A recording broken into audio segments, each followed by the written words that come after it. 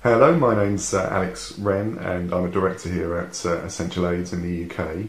Um, we specialise in mobility and disability related uh, supplies across the country. Um, my personal role is wide ranging, um, but I've had direct uh, contact and communication with Biz- BizTech for a number of uh, projects now related to our e commerce website over the last two years or so.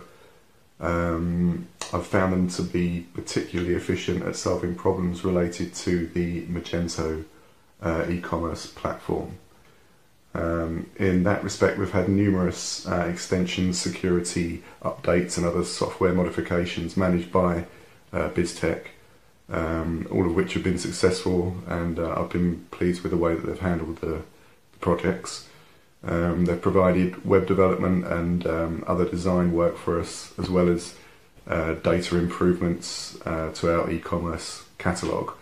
Um, they've got an experienced team. Um, I'm always impressed with their communication, um, and yeah, I've got no hesitation in uh, recommending them for uh, for products projects like the ones that we've undertaken, um, which I say surround all aspects of um, Magento e-commerce.